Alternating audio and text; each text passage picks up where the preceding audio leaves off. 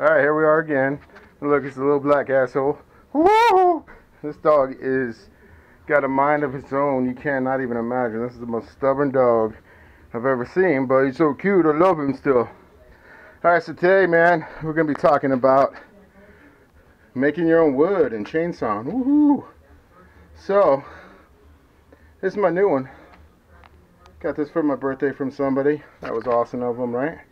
It's a Jonsered 2255 CS22 Pro model saw. Haven't even used it yet. Basically just got it out and it's too pretty to use, man. I don't even want to use it. But anyways, we're going to be talking about doing some sawing. There's the other boxer. Look at him. Bit crazy. Alright, let me get my gloves. Alright, maybe they're outside. I'm sweating. Alright, give me a minute. Stick with me. Stay. Okay. So, I don't know where the hell my gloves are.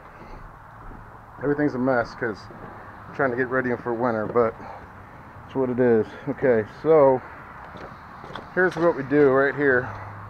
I'm only using good fuel, non-ethanol stuff. I actually buy it in the two gallon jug or one gallon jug, but last time I went to town I forgot my one gallon jug, so I had to take a two gallon jug. But I buy just uh, huh, the non-ethanol stuff because oh, excuse me, got some sawdust in my nose. Well, the, the ethanol shit is really bad for any of your gaskets, for your car too, man. It's it's bad for all the shit. So it's really bad in small engines. Fuck, gotta sneeze again. Anyway, so what I do is I mix my own fuel. Um, you can see right now I've been using my old Jonsered, which I love. Dude, these saws are so badass. If you get a chance to pick one up, definitely pick one of these bad boys up. Like no vibration, they just cut good. This one's older, but you know what? I did some trading on it and I got it and a little Echo. And this thing was so good that I got rid of the Echo. I got a Stihl I have to rebuild. I did some trading. I ended up taking it in the shorts on that one. Pistons burned and it's a good one. It's a big Stihl, so it's worth rebuilding.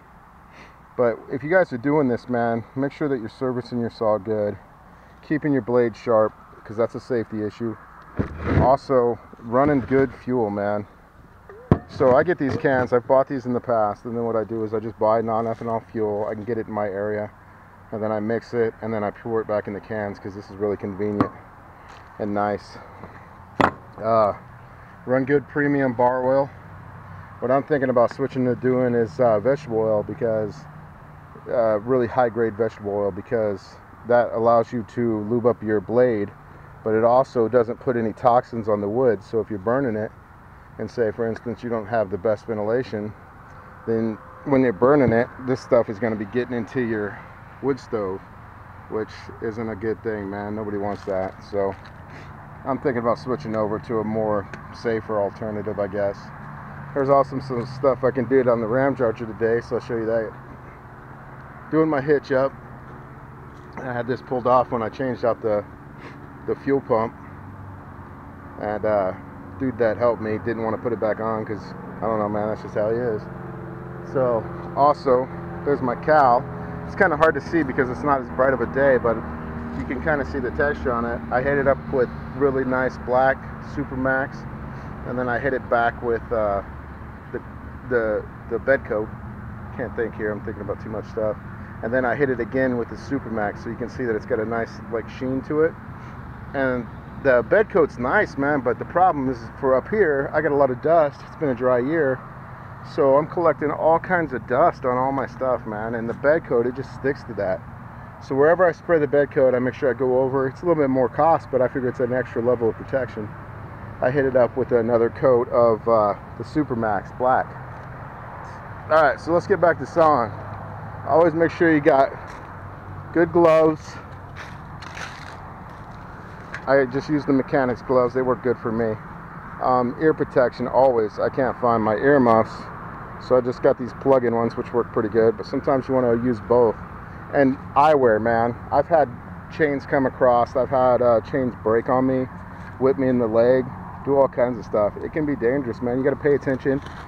Wear good steel toe boots. They also make other protective gear. That's a good idea. The full shields, face shields are good Husky Husqvarna, I think, makes one with a helmet. And they also make it with the ears attached and this face screen. So if you do get a, oh, here comes the train. All right. So here's my pile I'm working on. Got this delivered last year and it's drying out good, man. It's looking good. Let's let with this train to go by. So this is my pile. I got a good mix of birch. You can see some of it's punky. I mean, it's rotted and it's got ants in it, so it doesn't matter because I got a workshop over there and I'm, I got a wood stove that I'm putting in out there, so I can burn all this crap out here. Or right there, it looks like shit right now, but I got my uh, outdoor fire pit, so I can burn all this crap stuff out there. No big deal. And then this thing, something that's been built. This is nice, man. Check this out. This is something that's a safety feature to me. And you can put your logs up here and cut it without worrying about it kicking back on you without worrying about doling your blade as your blade is hitting the hitting the dirt. Sometimes I come in here you can see I edge some of these and just knock them out. But just make sure you're being safe. I mean I'm out here by myself and uh, you know it's still dangerous even if you know what you're doing. So make sure that you're close you have your phone on you and that somebody knows what you're doing and you can see that like I got tons of spider webs in here and we got hobo spiders up here man and they're nasty. They're a mix of two different types of spiders. And these things are aggressive and they'll bite the shit out of you and they can do permanent damage to you. So just make sure you're paying attention man that's it. Oh it looks like the sun's coming out. It might be time to pack up man. It might get too hot. But uh any questions or comments let me know just make sure you're being safe. If you're lifting these logs i'm pretty strong but i still like take my time and i like lean them up. And if i have a big log like this say for instance i'll get it in the pile and i'll get it at an angle and then i'll cut this off let it drop and then that way i can handle half of the log versus trying to handle the whole thing. Also if you're going to cut it man put it lean it up against something make sure it's secure make sure you got a good cut angle and that you're safe and that you're not going to fall into your blade or fall over or have the saw come back on you. So that's pretty much it. Uh, in the future, I'll make another video on how to service your saw and um, get your get your blade sharpened, do all that kind of stuff. If you like what you've seen, subscribe, send me comments, questions, whatever. It's all about simple living and helping each other out. All right, later.